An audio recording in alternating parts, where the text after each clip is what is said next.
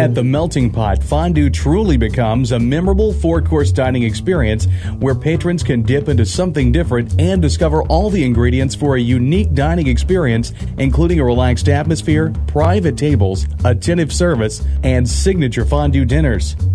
For starters, you'll enjoy one of their signature cheese fondues, then dip into great entrees like lobster, center cut filet mignon. Oh, and try to save room for dessert because the melting pot offers 10 sinful chocolate fondues. Keith Sands explains. What a wonderful experience. Several courses, finished off with a great dessert.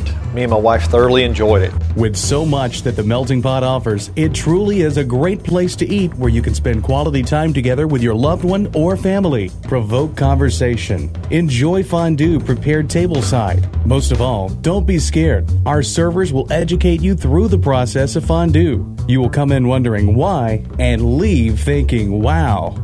It's time to dip into something different at the Melting Pot.